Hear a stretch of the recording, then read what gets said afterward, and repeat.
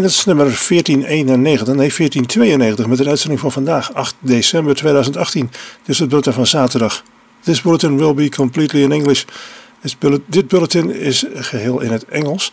Uh, er is data en dat is een leuke. Uh, er zijn diverse datamodus en die schakelen allemaal automatisch. Frequentie is 1500 hertz, maar je moet wel RxID rechtsbovenaan ingeschakeld hebben. Notabene gisteren bleek er een hinderlijk piepje in de uitzending van DMR.li te zitten. Als waarschijnlijk veroorzaakt door een niet helemaal showvolle geluidskaart eh, die eh, in de Raspberry Pi zat. Eh, dank aan Bernard en ook aan Barry voor de hulp daarbij. Inmiddels is de geluidskaart vervangen en het geluid zou nu goed moeten zijn.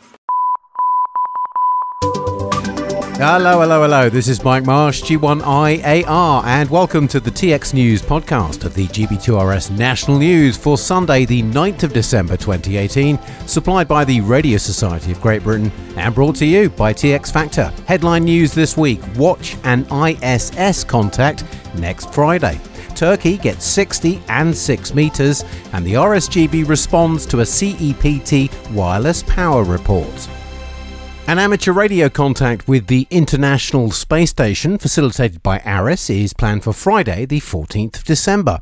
The contact with Kenilworth School is scheduled for 12:55 UTC, and it will be streamed from around noon at live.ariss.org. Turkey's regulator BTK, in a government gazette notice on the 29th of November, released two new amateur radio allocations. They are the new WRC 1560 meter band at 15 watts, plus an all mode 6 meter allocation of 50 to 52 MHz with a power limit of 75 watts. The RSGB has made a submission to the CEPT regarding its draft report on wireless power transmission for electric vehicles. This is the latest step as part of ongoing work by the RSGB and the IARU that is preparing for WRC 19 next autumn. A copy of the submission can be viewed online at tinyurl.com forward slash YAVPSNX6. There'll be no GB2RS script for Sunday, the 30th of December. The last news reading for 2018 will take place on Sunday, the 23rd of December, with normal service resuming on Sunday, the 6th of January. Individual newsreaders may choose to run a net instead of the news during their slot on the 30th, though this must be under their own call sign and not using GB2RS. CW Ops is accepting nominations for the Advancing the Art of CW Award in 2019. The purpose of the award is to recognise individuals, groups, or organisations that have made the greatest contribution towards advancing the art or practice of radio communications by Morse code. Nominations may be made by anybody, not limited to CW Ops members either, and email nominations must go into awards at cwops.org, that's C W O P S, or one word, .org, and send a CC copy along to secretary at cwops.org as well. Nominations must be received by the 1st of March 2019, and all the details are online and viewable at cwops.org. Youngsters on the Air Month, or YOTA, runs throughout December, of course, and the next club to activate the GB18 YOTA call sign will be Southampton University Wireless Society on the 12th.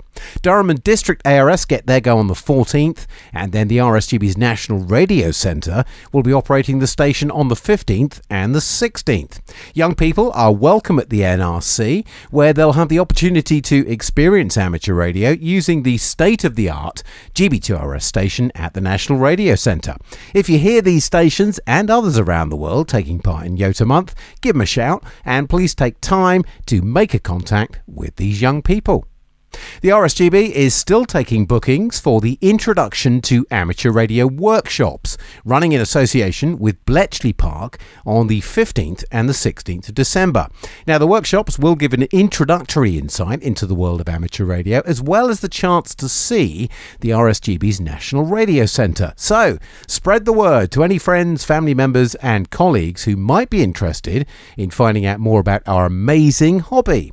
Full details, including booking and information prices, are all up online at tinyurl.com forward slash YA7EXJVA. The GB3 LEX 10 GHz beacon was switched off at 1450 UTC on the 29th of November. Now, this was to enable investigations to identify the cause of a fault reported by a local user. Details of its switch back on will be announced when more is known of the fault. The RSGB has released a video of the YOTA 2018 event held between the 8th and the 15th of August in South Africa. The event welcomed 74 young radio amateurs from all over the world, including participants from seven African countries. The video, filmed and edited by Peter Barnes, Mike Zero Sierra Whiskey November, shows the highlights of the event and accompanies the official blog, which is up at rsgb.org slash YOTA 2018. Worked All Postcodes is an award scheme announced by the radio dealer Moonraker. Participants need to work as many postcodes as possible using a maximum of 10 watts on any mode on the 70, 144, 430 and 1296 MHz bands. Wednesday will be activity night and awards will be available for different numbers of postcodes. This all starts on the 2nd of January 2019, so something to look forward to for next year and keep an eye on the Moonraker blog for more information. So that is your headline news for the week. Now it's time for details of rallies and events for the upcoming week. Members of the British Vintage Wireless Society are holding a swap meet and an auction on Sunday, the 9th of December, at Royal Wootton Bassett Memorial Hall in Royal Wootton Bassett, which is in Swindon in Wiltshire, and the postcode Sierra November 4 8 Echo November. Doors open at 10 in the morning and the auction starts around 1 pm. More details of the BVWS membership can be found up on their webpage at bvws.org.uk. Now, we got no rallies in the diary for the weekend of the 15th and the 16th of December, probably because everybody's out panic buying and Christmas shopping. But don't forget to get your event into Radcom and into GB2RS. Get those details sent in to us as early as possible to radcom at rsgb.org.uk. And we do need to know at least three to four months in advance to get your information printed into Radcom. Now, onto the DX news from 425 DX News and other sources. Caesar, Victor Echo 3, Lima Yankee Charlie, and Adrian, Kilo Oscar 8, Sierra Charlie Alpha, are scheduled to operate as Tango X Ray 0 Mike from a new IOTA, which is on the Morane Atoll, and it's Oscar Charlie 297 until the 10th of December.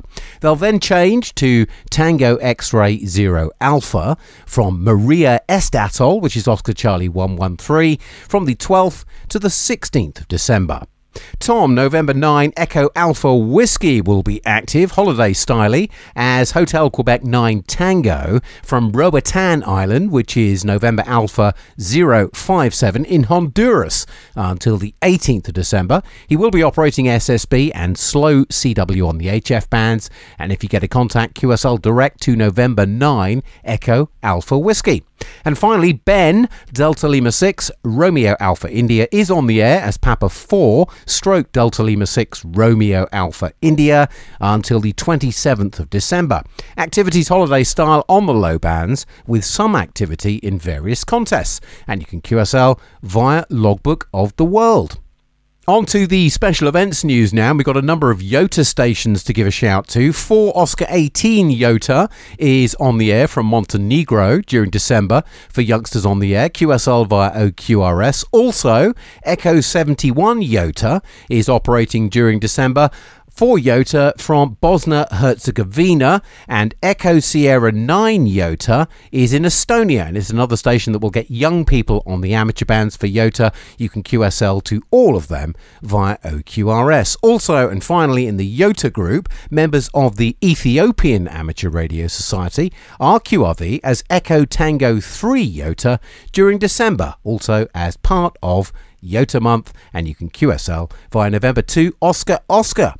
Special event station Charlie 4 Xmas is on the air from Cyprus during the festive season. Activity will be on the 160 to 6 meter bands using CW, SSB, and various digital modes, and you can QSL via India Zulu 4 Alpha Mike Sierra. Now, if you've got any special event details, make sure you get them into radcom at rsgb.org.uk as early as you possibly can. You will get yourself free publicity on GB2RS and also in Radcom and online. And just a little reminder that you should be aware of UK special event stations must be open to the general public, so our free publicity can actually help make your efforts more widely known. Moving on to the contest news now. It's the UK 6 metre group winter marathon and it began actually on the 1st of December, but it runs right the way through until the end of January. There's no specific operating periods, basically just work as many locator squares as you can when you can using any mode on the 50 megahertz band. The ARRL 10 metre contest ends its 48 hour run on Sunday at 23.59. That's on the 9th. Using CW and SSB, the exchange is signal report and serial number, with American and Canadian stations sending their state or their province code. On Tuesday, the 432 MHz FM activity contest runs from 1900 to 2000 UTC using FM only. It's immediately followed by the all mode 432 MHz UK activity contest from 2000 to 2230 UTC. The exchange for both contests is signal report, serial number, and locator.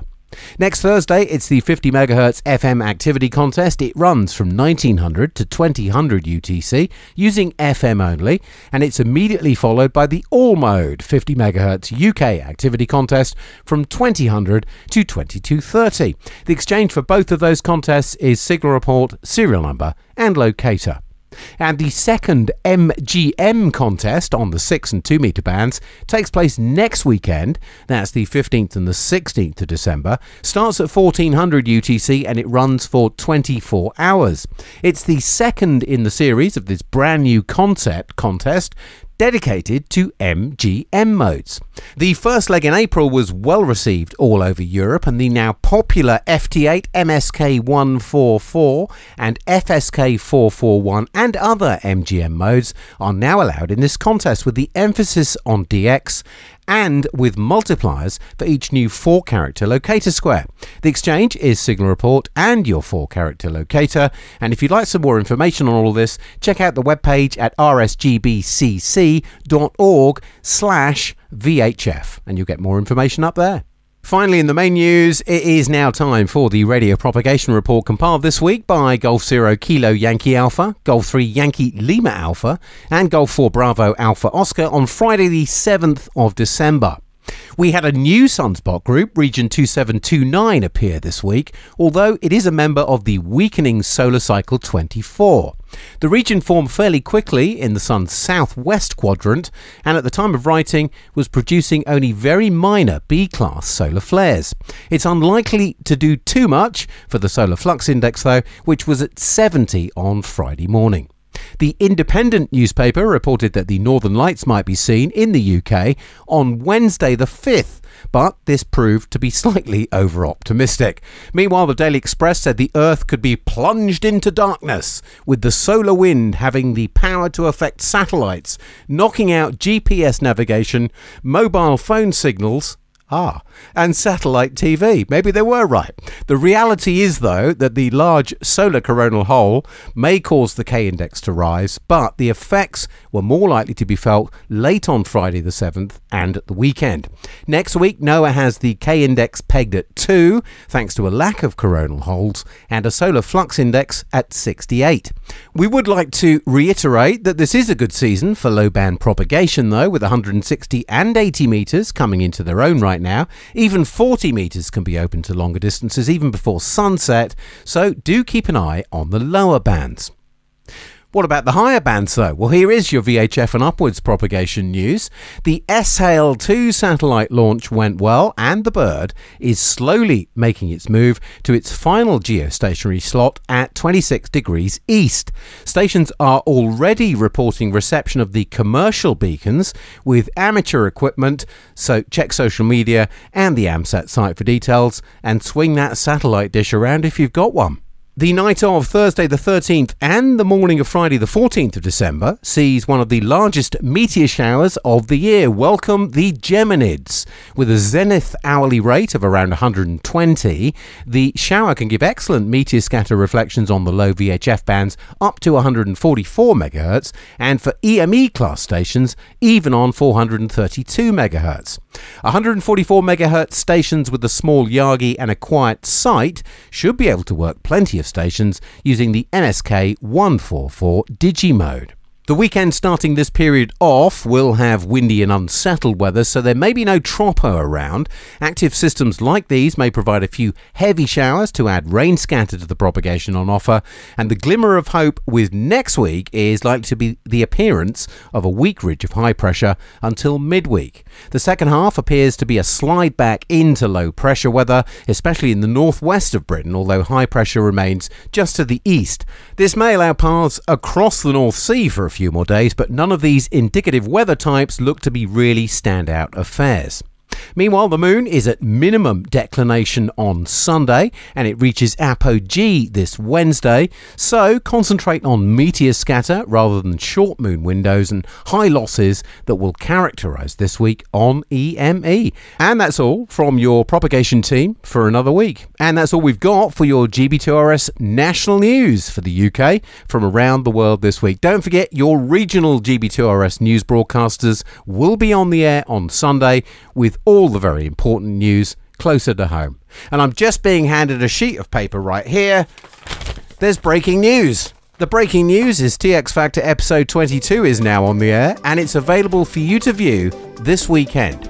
In the brand new show, we get a sneak peek on the yet to be released Yaesu FTDX 101 hybrid transceiver. And Bob McCreadie takes a little in depth look at the ICOM ICR 8600 receiver, as well as questioning what on earth network radio is all about. Pete Sipple heads off to the 2018 RSGB convention and there's a chance to win some exciting prizes in our brand new free to enter draw. It'll be like all of your Christmases have just come along at once. Make sure you tune in over the weekend and enjoy the brand new episode of TX Factor, which is on the air now. I'm Mike Marsh, G1IAR, reporting with the TX News weekly podcast of GB2RS. Thanks for listening, and we'll see you right back here next week with the very latest update on GB2RS News. Daily Minutes zijn dagelijks vanaf ongeveer 1900 uur te beluisteren. De uitzending wordt een dag later om half elf s ochtends herhaald. Alle mail is welkom op het adres x xdv.me. Dat is ook te vinden rechts bovenaan de webpagina van de uitzending www.pa0ete.nl. De Daily Minutes toont iedere dag weer aan de hand van schokkende voorbeelden hoe een hobby mensenlevens kan veranderen. De internetfaciliteiten en studiohardware voor Daily Minutes worden gesponsord door 70mhzshop.nl. 70mhzshop.nl